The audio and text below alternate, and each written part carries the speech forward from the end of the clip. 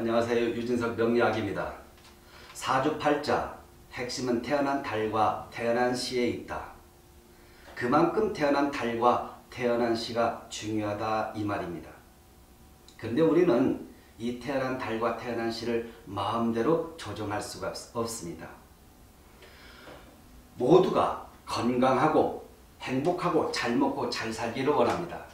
근데 살다 보면 우리는 뜻하지 않게 어려운 문제를 많이 겪게 됩니다.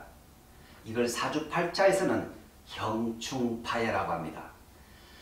살다 보면 뜻하지 않은 어려움을 겪는데 내 개인적인 부주의에 의해서 겪는 경우는 그것도 좀 속상하지만 나와 상관없이 전혀 억울하게 당하는 경우 또한 많이 있습니다.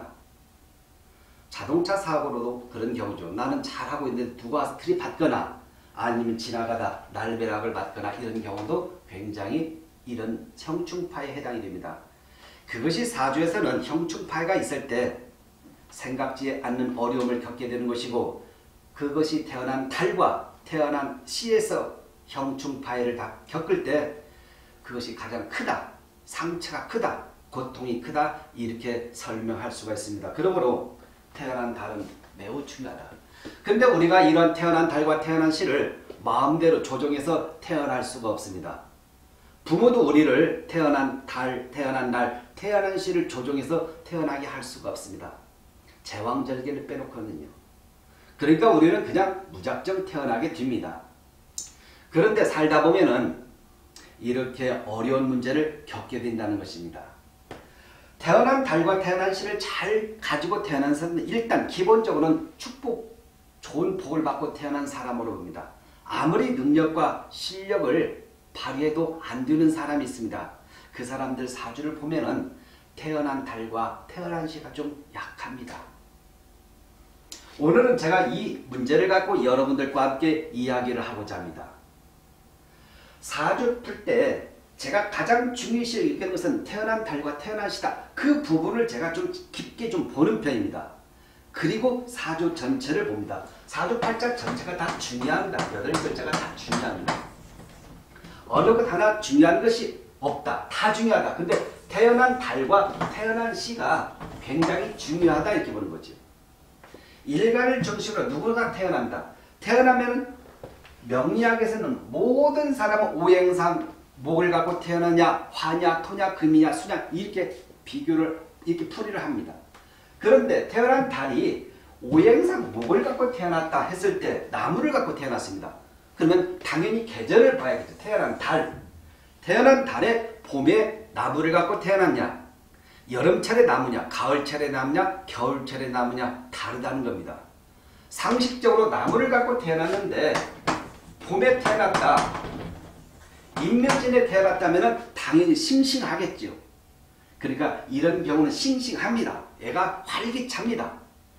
그 다음에 사오미 여름철에 태어났다면 이미 봄을 지나고 여름철이니까 어느 정도 성장이 좀 돼 있다. 좀 연그럽다. 가을철에 나무다면 그때는 이때는 뭐냐면 이 나무에서 열매를 따는 시기니까 조숙하다. 겨울철은 열매도 닫고 휴식기니까 이때는 좀 쉬는 시간이겠죠. 그래서 이런 때는 오히려 겨울철에 태어나면 간목을 갖고 겨울철에 태어나면 시기를 조금만 지켜봐봐라. 대기만성형으로 간다. 그런 애들은 일찍 두각을 바른 애들은 인묘진월이요.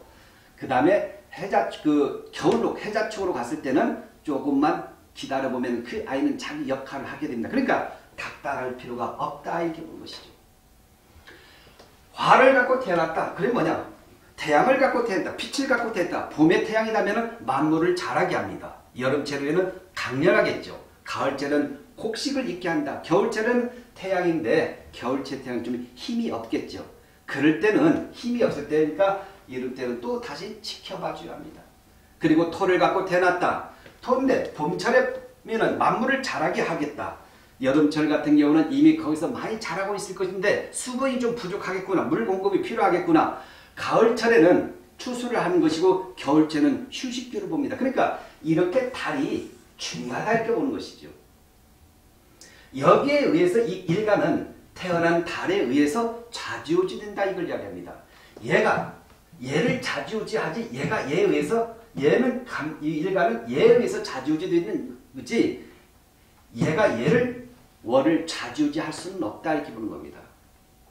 거기다가 태어난 시가 있습니다. 여기서 또 다시 조정을 합니다. 그러므로 태어난 달이 왜 중요하냐? 우리가 마음껏 골라서 태어나면 좋겠지만 그렇지 못하다는 것이죠. 태어난 달은 이 사람에 대해서 어떤 거냐 컨트롤 타워 역할을 한다는 것이죠. 컨트롤 타워.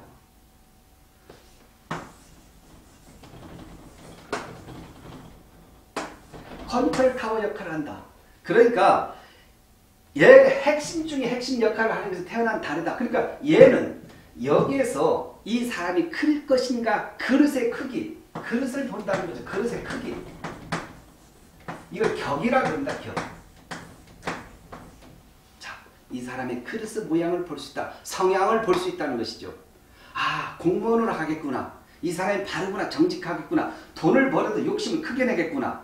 이 사람은 사업가도 크게 하겠구나 작게 하겠구나를 다 여기서 성향을 분석해서 내보낸다는 것이죠. 이렇게 내보내면 태어난 시는 뭐냐? 이 사람의 활동 무대입니다. 태어난 연도를 볼 때는 우리가 토지를 봅니다. 토지의 매매 문제, 건물에 태어난 달은 건물의 매매 문제, 태어난 날은 주택, 집에 대한 매매 문제. 그 다음에 태어난 시는 가게짜리죠.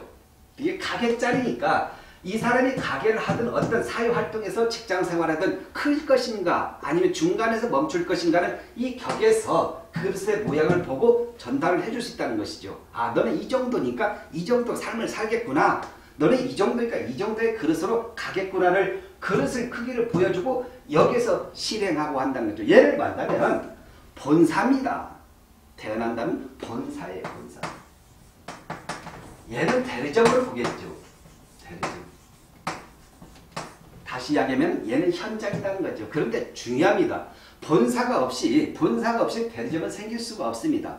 본사가 있어야 대리점이 생기고 또 대리, 본사는 대리점의 왕성한 활동 없이는 성장할 수가 없습니다. 그러니까 이 둘 관계는 긴밀한 관계라는 것이죠. 굉장히 중요하고 서로가 협조하고 중요한 관계다. 얘가 하나가 무너지면 얘도 약하고 얘 없어도 얘가 이루어질 수 없기 때문에 태어난 달과 태어난 시가 중요하다 이렇게 설명할 수가 있는 것입니다. 근데 중요한 것은 다시 이야기해주면 우리가 이것을 마음대로 조정을 못한다는 것이죠. 옛날에 옛날에 제왕절개를 하게 된다면 우리 어머니 세대들 그 할머니 세대는 아이가 만약에 거꾸로 섰다면 거의 목숨을 걸고 아이를 출산했습니다. 그러다가 아이를 낳으면서 산모가 사망하는 경우가 많았습니다. 왜? 아이가 거꾸로 서 있기 때문에. 그걸 그런데도 그 당시엔 그렇게 했습니다. 그래서 닿습니다. 근데 지금은 아이가 만약에 거꾸로 서도 전혀 걱정할 필요가 없습니다. 워낙 의료시설이 의학이 발달되어 있기 때문에 예전에는 제왕절개를 하게 된다면 참 슬프고 고통이고 아픔이 있지요. 근데 지금은 오히려 반전이 됐습니다. 오히려 제왕절개 하는 것은 신이 준 가장 축복이다 저는 이렇게 설명할 수 있습니다. 왜냐하면 제왕절개를 어쩔 수 없이 하게 된 상황이 있다면 태어난 날과 태어난 시를 조정을 받을 수 있다는 것이죠. 또 재수가 좀 태어난 달까지도 받을 수 있습니다. 이렇게 전반적으로 여섯 글자를 조정해서 좋은 태기를 잡아서 출산할 수 있는 장점이 있다는 거죠. 그러니까 반전됐다는 겁니다. 가장 슬픈 내용이 오히려 지금은 가장 슬픈 아니 행복한 상황으로 반전될 수 있다는 걸 이야기합니다. 그런데 이게 좋냐 안 좋냐 저는 25년간 해왔습니다. 제 자료 보면 정말 괜찮습니다.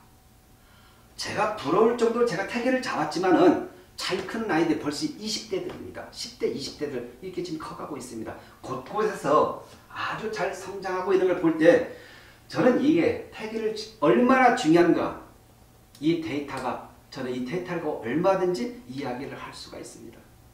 그런데 이런 것을 우리는 마음대로 못하고 이렇게 태어나고 간다는 것이죠. 힘들고 어려운 문제를 겪는다는 것입니다. 그래서 태어난 달, 태어난 시가 사주에서는 굉장히 중요하다. 예를 들면 자 갑을 갖고 태어났다. 갑. 근데 태어난 달이 예를 들면 인월이다. 자 인월인데 이때는 좀 힘이 있겠죠.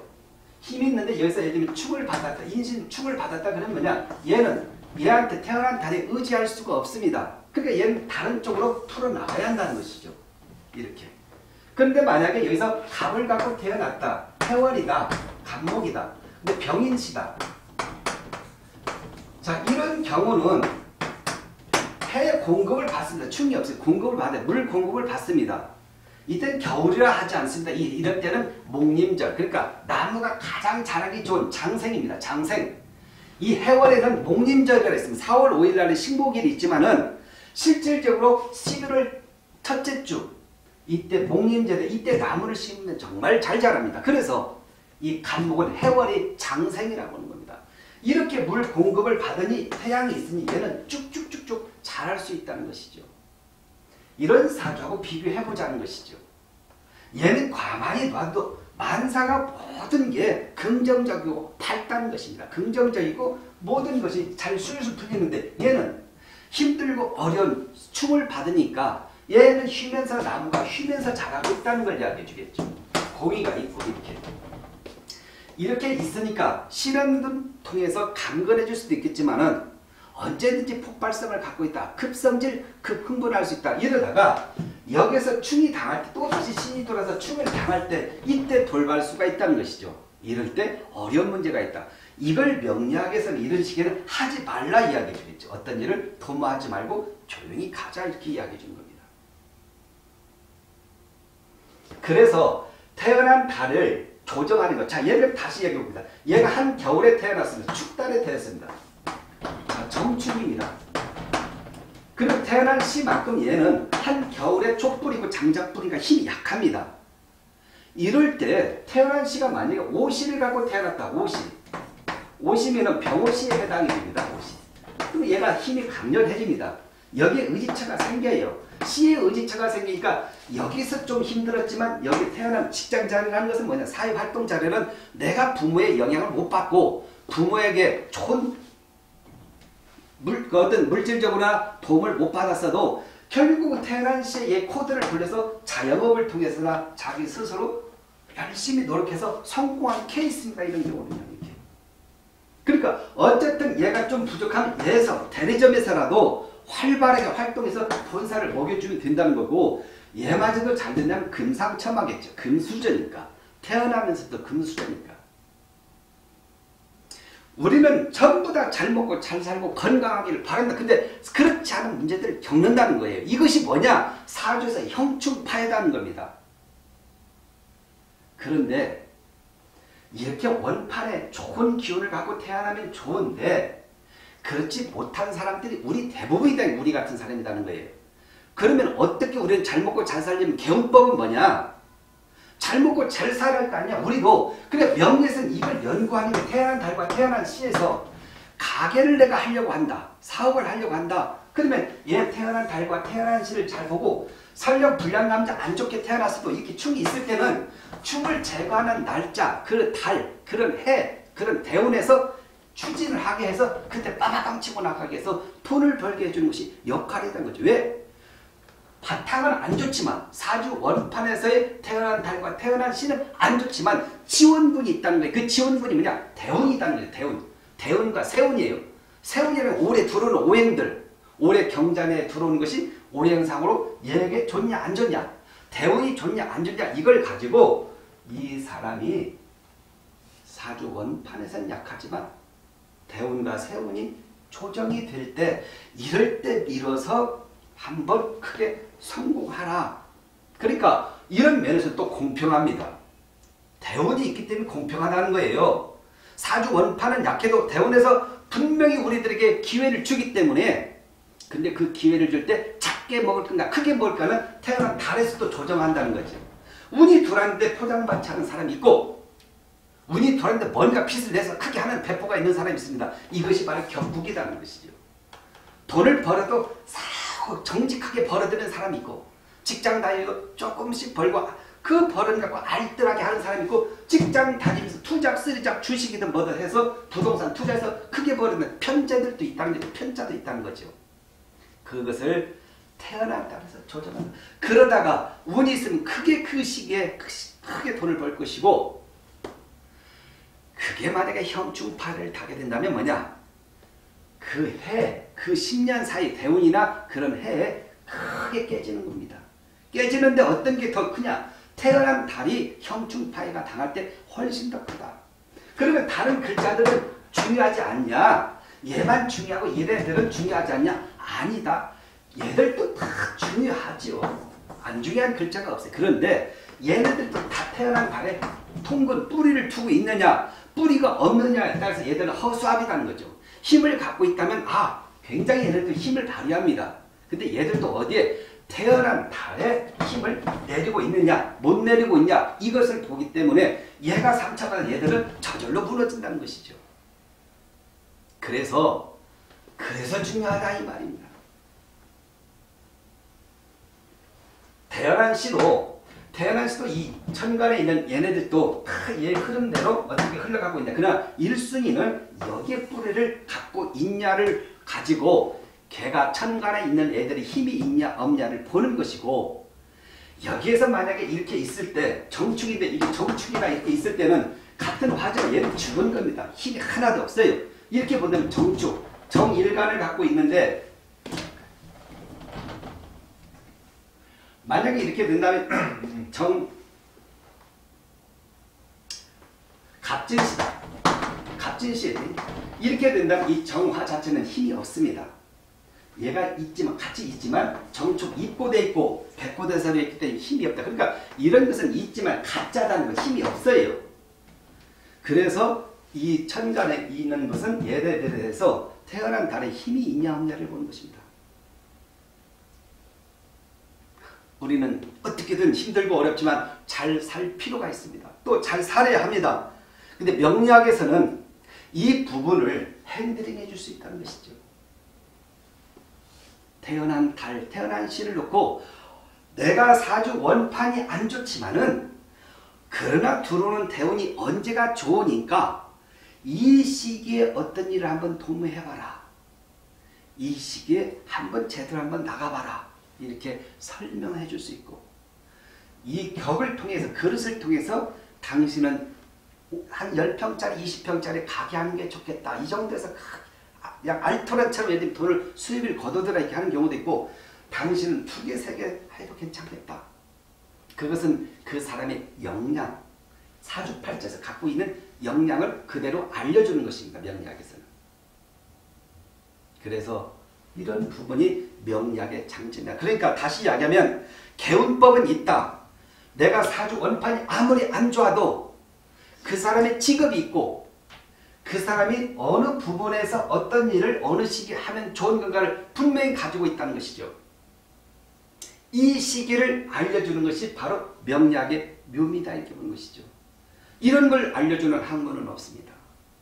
명리학은 이런 부분이 이렇게 원판은 좋지 않지만 이렇게 충이 당하고 있을 때 충이 당하고 있을 때 얘를 제거시키는 기운 자체가 없구나. 얘 가운데를 통관시켜주는 시기에 통관을 시켜주는 시기에 어떤 일을 하게 되면 이 사람은 돈을 법니다. 그 시기에. 그래서 누구든지 기회는 있다. 이렇게 저는 설명할 수가 있습니다. 태어난 달, 태어난 시가 왜 중요한가? 제가 설명을 했습니다. 한번 잘 참고해 보시기 바랍니다. 감사합니다.